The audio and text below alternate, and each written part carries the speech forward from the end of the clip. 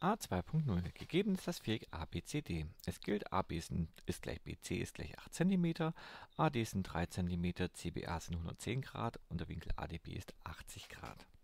Was man am Anfang schon machen kann, ist einfach die gegebenen Größen eintragen. Halt, die wollte ich mit blau. AB sind 8, BC sind 8, AD sind 3. Hier haben wir den Winkel CBA mit 110 Grad. Den ADB kann ich jetzt gerade schnell nicht einzeichnen äh, weil mir eine Streckenlänge fehlt. Aber hier Aufgabe A2.1 zeichnen Sie die Strecke BD in die Zeichnung zu A2.0 ein und berechnen Sie sodann das Maß des Winkels dBA und die Länge der Strecke BD und die Teilergebnisse stehen auch da. Also, erster Teil zeichnen Sie die Strecke BD, das ist ziemlich einfach, Geodreieck nehmen, BD verbinden. So, einfacher Punkt verdient. Jetzt kann ich hier oben auch den Winkel ADB einzeichnen mit 80 Grad. Nächster Teil. Berechnen Sie dann das Maß des Winkels dBA. So, der liegt hier. Den muss ich berechnen. Wie gehe ich vor? Ich schaue mir zuerst das Dreieck an und überlege mir, ist es rechtwinklig? Ja, nein. Ich sehe, äh, also ich weiß nur, ob es rechtwinklig ist, deswegen gehe ich davon, es nicht rechtwinklig. Damit funktionieren in diesem Dreieck nur der Sinussatz bzw. der Kosinussatz. Wir gehen also in unsere Formelsammlung, finden wir auf Kosinussatz oder Sinussatz auf Seite 8. Ähm, habe ich hier unten. Hier habe ich den Sinussatz stehen und hier den Kosinussatz. Für den Kosinussatz bräuchte ich drei Seiten und einen Winkel. Der Win ein Winkel ist gesucht, aber ich kenne nur zwei Seiten vom Dreieck. Die dritte Seite ist nicht bekannt, also funktioniert auch der Kosinussatz nicht. Sinussatz brauche ich zwei Seiten und zwei Winkel. Schaue es mir an. Ich brauche, habe eine Seite, äh, einen Winkel gesucht, gegenüberliegende Seite ist bekannt und von der anderen Seite ist auch der gegenüberliegende Winkel bekannt. Also Sinussatz funktioniert hier, wir können ihn problemlos ansetzen. Daraus folgt für Winkel dBA Sinus vom Winkel dBA, ich fange immer mit dem Unbekannten an, weil dann muss ich nachher nicht so viel umformen. Geteilt durch die gegenüberliegende Seite ist gleich die Strecke AD. So, und wenn ich beim ersten Teil mit Sinus anfange, muss ich auch im zweiten Teil mit Sinus anfangen. Sinus von ähm, Winkel ADB durch die gegenüberliegende Strecke, das ist 8. Wir haben Sinussatz hier in der Formelsammlung steht zwar die Strecke immer oben oder Sinus unten, aber das darf man problemlos umdrehen. Überhaupt kein Thema. So, setzen wir die Größen ein, die wir kennen. Sinus dBA wollen wir ja berechnen. Geteilt durch AD ist gleich 3. Sinus von ADB sind 80 durch, oh, die habe ich schon eingesetzt, hier wollte ich eigentlich die Strecke AB stehen haben, so, durch 8. So, jetzt muss ich nur hier diese 3 einmal wegbringen. Das heißt, ich multipliziere die Gleichung mit 3. Ich kann sie auch sofort in den Solver eingeben. Dann kriege ich auch das Ergebnis raus.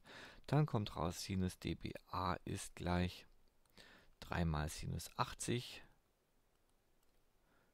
geteilt durch 8. Ja, die 3 einfach in den, in den Zähler reinschreiben und Multiplikation verbinden. Und jetzt muss noch dieses Sinus ausgerechnet werden wie gesagt, entweder den Solver benutzen oder Sinus hoch minus 1. Dann folgt daraus ähm, der Winkel dBA. Und ich habe hier die Winkelzeichen vergessen.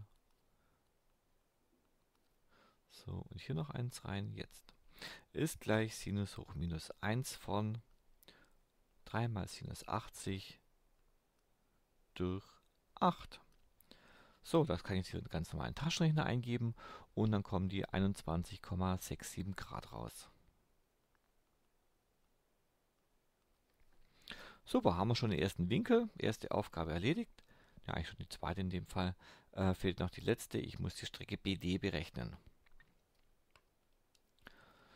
So, mache ich mal die überflüssigen Zeichnungen wieder raus. Ich kenne hier den Winkel mit 21,67. Ja, und ähm, wie kriege ich jetzt nach oben? Äh, wieder gleiches Spiel. Ich gehe ins Dreieck rein, ist nicht rechtwinklig, also brauche ich Sinussatz oder Kosinussatz. Ähm, Sinussatz kann man sich jetzt tatsächlich aussuchen. Beim Sinussatz wird man jetzt noch feststellen, hoppla, mir fehlt der gegenüberliegende Winkel. Beim Kosinussatz eigentlich wenn man schön ansetzt, auch. Ähm, da gilt auch immer beim Kosinus-Satz, ich brauche, ähm, also ich habe hier vorne stehen a Quadrat ist gleich mache es immer ein bisschen deutlicher, a Quadrat ist gleich b Quadrat plus c Quadrat mit 2 mal b mal c mal Cosinus Alpha. Also das a Quadrat liegt immer gegenüber vom Winkel. Wenn ich jetzt die BD berechnen wollen würde, wäre es sinnvoll, wenn ich den Winkel BAD kenne. Ich könnte es theoretisch aber auch noch anders einsetzen, nur dann aufpassen, dass es eventuell möglicherweise zwei Lösungen gibt. Also, auch beim Kosinussatz bräuchte ich jetzt hier unten den Winkel, wie beim Sinussatz auch, ist aber überhaupt kein Problem weil ich kenne ja zwei Winkel im Dreieck schon, 80 Grad und die 21,67 Grad.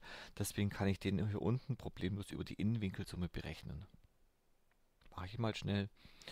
Ähm, unten haben wir den Winkel, ja, so jetzt geht's wieder. Den Winkel BAD ist gleich 180 Grad minus Winkel ähm, ADB minus Winkel, wie hieß der andere, dBA. Setzen wir ein, 180 Grad minus, oben hatten wir 80 Grad minus dBA waren 21,67 Grad. Und das sind dann 78,33 Grad. So, damit ist der Winkel unten bekannt. Wie gesagt, ich kann jetzt Kosinus-Satz oder auch wieder den Sinussatz benutzen. Ähm, nehme ich gerade nochmal den Sinussatz, weil der ja gerade passend war. Ich fange wieder mit, einer, mit meiner unbekannten Seite an. Also wir wollen BD berechnen. Also im Sinussatz fange ich auch mit der unbekannten BD an, geteilt durch Sinus des gegenüberliegenden Winkels, das ist der Winkel BAD, ist gleich, gehe ich nochmal hoch, ähm, jetzt kann ich es mir aussuchen. Entweder ich nehme ähm, die beiden hier, Winkel 80 Grad und gegenüber 8, oder ich kann die 21,67 und die gegenüberliegenden 3 nehmen. Ich nehme die 80 und die 8, weil die 80 ist schöner als die 21,67. Ähm, also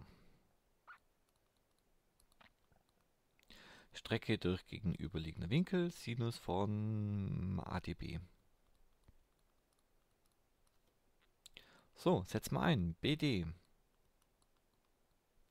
geteilt durch Sinus von BAD, das sind die 78,33, ist gleich AB waren 8 und Sinus von 80 Grad kann man wieder säubern oder mit Hilfe einer Umformung lösen. Ja, ich bringe wieder das im Nenner weg, indem ich damit multipliziere, also mal Sinus 78,33. Und dann folgt daraus BD ist gleich 8 mal Sinus von 78,33 geteilt durch Sinus 80. So, das kann ich jetzt ganz normal in den Taschenrechner eingeben. Und dann kommt raus, BD sind 7,96 cm. Halt, das habe ich ja schon dran stehen. Gleich 7, was war jetzt 96 cm. Ja, das war glaube ich auch das, was oben in der Lösung drin stand. Hier haben wir BD 7,96 cm. Ja, passt. Damit sind wir mit der Aufgabe fertig. Nächste Aufgabe.